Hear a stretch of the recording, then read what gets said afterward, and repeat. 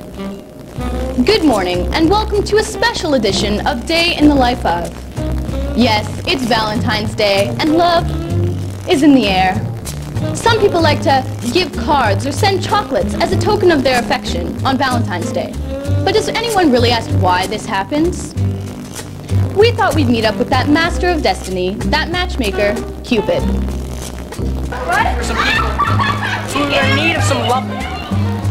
Now, now some people need love and a love. This is Cupid, just a guy with a 9 to 5 job like everyone else. Except that his is just a little different. What could be better than hunting down suitable targets and shooting them in the butt with an arrow, eh? Every job has its satisfaction. I usually find some people have the love. Yes, I'm waiting here for Cupid, and I've been waiting for quite some time now. I'm not sure where he is. Cupid, you're late. Yeah, sorry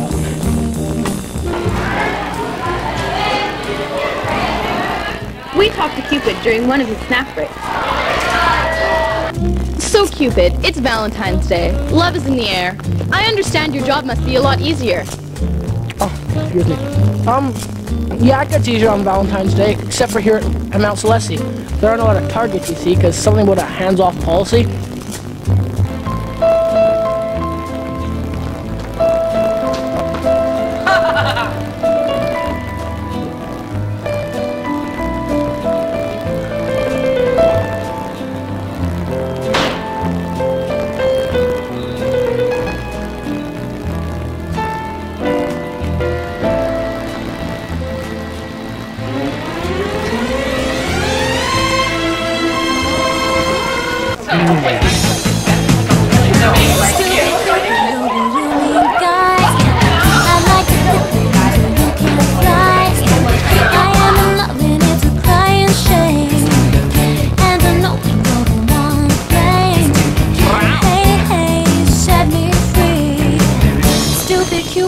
Stop picking on me. Can't tell my homie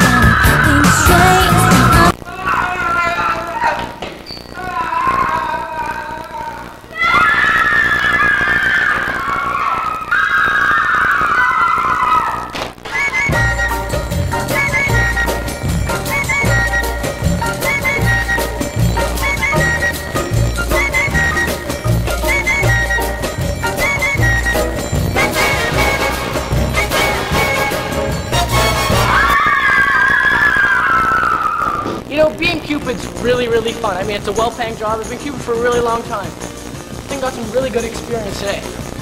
Really shot some nice people. But there are consequences that come with being Cupid, so I gotta go. I guess I'll see you next February 14th. Back there, you freaky scary!